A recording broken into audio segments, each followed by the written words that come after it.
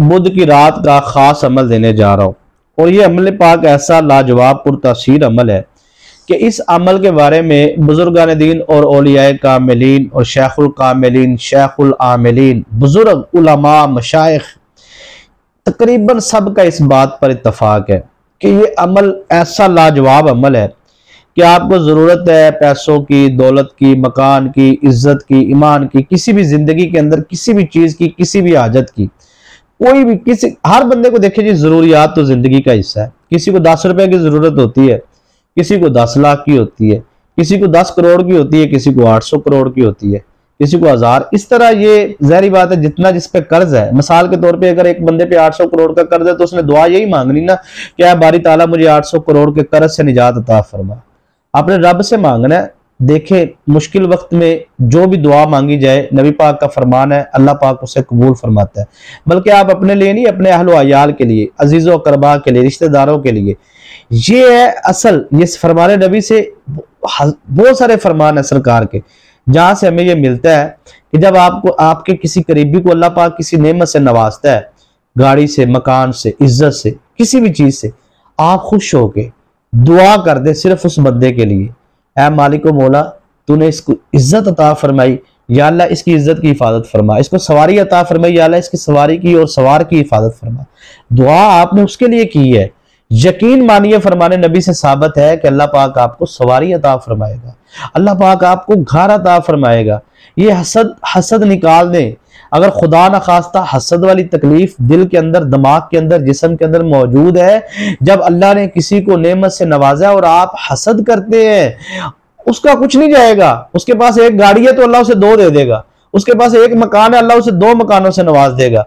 लेकिन आपके हसद करने की वजह से आप ज़मीन दोज हो जाएँगे। आपके रिजक को फैला दिया जाएगा। सरकार का फरमान भी मिलता है ना ना शुक्र इंसान के रिजक को फैला दिया जाता है। कभी वो कहाँ से इकट्ठा करता है, कभी वो कहीं से इकट्ठा करता है, कभी वो कहीं से धक्के खाता है। तकलीफ़, आजमाइशे देखिए गुर्बत और तंगदस्ती और फकर फाका, इसका मज़ाक तो नहीं उड़ाना चाहिए। इसके बगैर देखिए जिसके पास ये गुर्बत है, तंगदस्ती है तो अल्लाह पाक उसकी तंगदस्ती को दूर करे, लेकिन ज़िंदगी तो बड़ी मुश्किल हो जाती है। कोई मकरूज है, कोई गरीब है, कोई फकर फाका में है, बच्चे घर दाखिल होते हुए बाप के दिल में यही होता है। छुरियाँ चलती है जी कि मैं घर दाखिल होऊँगा, मेरे बच्चे पूछेंगे, बाबा, आप क्या लेके आए? हमने खाना नहीं खाया, आटा मतलब छोटी छोटी चीज़ें।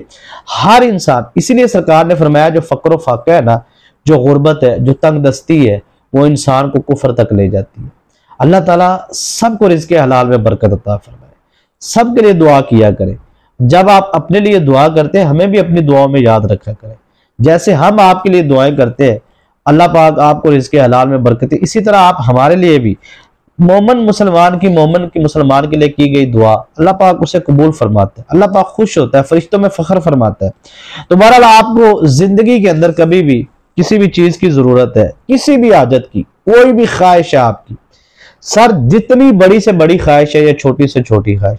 मैं इस अमल के बारे में इतना कहूँगा कि दुनिया के आमिलीन का इस बात के ऊपर इतफाक है कि बड़े बड़े अमल ज़िंदगी के अंदर, लेकिन इस अमल की परवाज इतनी है सर अभी आपने सोचा है, सिर्फ़ सोचा है।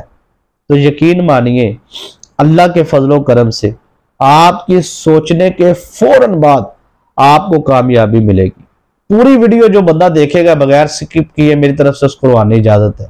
उसकी वजह यह है कि आप बगैर मतलब आप स्किप कर करके वीडियो देखते हैं ना जब, छोड़ छोड़ के तो आपको पूरी बात समझ नहीं आती। फिर आप रजत का शिकार, फिर आपको दीगर मामला फिर वही सवाल अक्सर कमेंट्स में वही सवाल आ रहे होते हैं जो वीडियो में बताए जाते हैं, उनके तमाम जवाब तो मैं चाहता हूँ कि आप वीडियो पूरी देखें, और मेरी भी आपके लिए यही ख्वाहिश है कि मैं उम्मीद करता हूँ कि आपको वीडियो पसंद आए तो आप लाइक भी ज़रूर किया करें। इससे हौसला अफजाई होती है, दिल को खुशी होती है, वे सुनने वाले इज़्ज़त एहतराम देते हैं।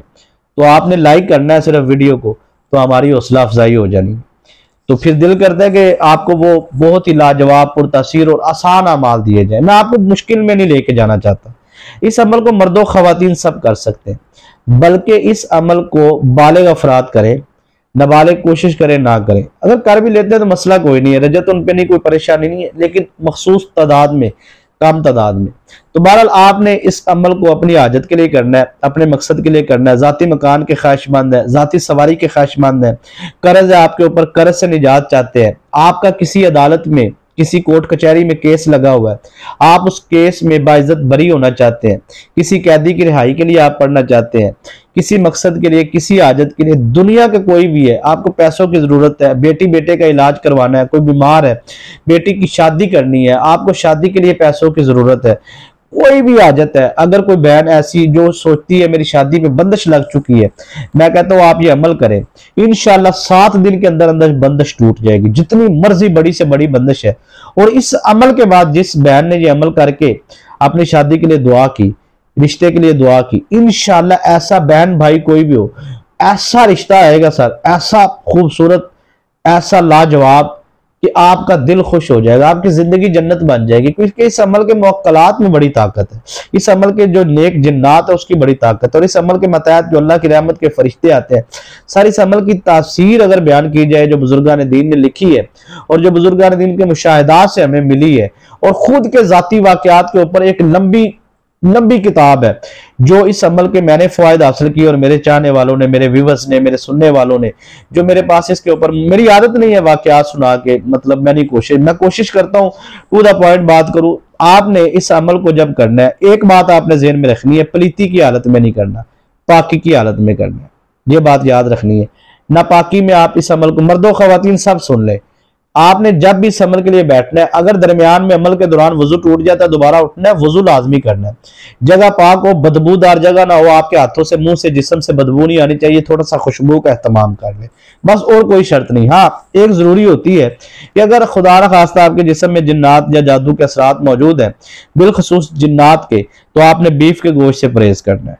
और कोशिश करें कि सब कर लें सात दिन का ये अमल है, कोई ज़्यादा दिन का तो अमल है नहीं। तो आप सात दिन परहेज करें अपना पूरा और आप इस अमल को करें। अब आपने सर क्या करना है कि दुरूद शरीफ आपने, मैं फिर कह रहा हूँ जिसने स्किप करके वीडियो देखी है उसको कोई इजाज़त नहीं, उसकी वजह है कि आप पूरी वीडियो देखें ताकि रजत से बच सके और शरात आपको समझ आ जाए। जो मैंने पूछी, पूरी चीज़ें बताई हैं, उन पर पूरा आपने फोकस करना और समझने की कोशिश करनी है। ठीक है जी? और लाइक भी आपने वीडियो को ज़रूर करना। ये सात दिन का सर अमल है। इस अमल को आपने ईशा की नमाज़ के बाद, आप समझने वाली बात है ईशा की नमाज़ के बाद आपने इस अमल को करना है। दो रकत नफल नमाज़ सलातुल्लाजात के अदा करने के बाद। जब आपके सात दिन मुकम्मल हो जाएँगे, तब आपको किसी भी वक्त अचानक ज़रूरत है। उस उस वक्त आपने वज़ू करना है और अमल शुरू कर देना है। कोई भी आजत है इनशाला अज़ीज़ वो पूरी हो जाएगी। ठीक है, उस वक्त तक पढ़ते रहना जब तक आदत पूरी ना हो जाए। मुसलसल आपने इसको सात दिन के लिए करना ताकि आप इसके अमल बन जाए। अब आपने दो दो रकत नफल नमाज़ सलातुल हजात के अदा करने के बाद ईशा की नमाज़ के बाद आपने दरू शरीफ तैतीस मरतबा, थर्टी थ्री टाइम आपने पढ़ना है। ठीक है, तैतीस मरतबा आपने दरू शरीफ पढ़ना है।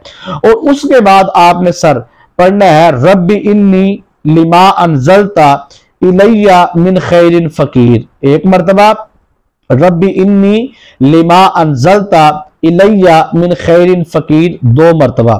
थर्टी थ्री टाइम, तैतीस मरतबा दरू शरीफ अव्वल पढ़ना है, तैतीस मरतबा दरू शरीफ अख्ताम पे पढ़ना है, और तेरह सौ तेरह मरतबा ये आपने कुरान पाक की आया मुबारक पढ़नी है रबी इन्नी लिमान जलता मिन खैरिन फकीर। आपने ये अमल करने के फ़ौरन बाद दुआ मांगनी है। दुआ मांगने का तरीका यह है कि सर सजदे में रखना है और दुआ मांगनी सर सजदे में। दुआ मांगनी है सर सजदे में। इतनी आवाज़ में कि आपके कानों तक आवाज़ आए। यकीनन कामयाबी आपका मुकद्दर होगी। मैं फिर कहता हूँ, वीडियो को लाइक नहीं किया तो ज़रूर करें। दुआओं में याद रखें।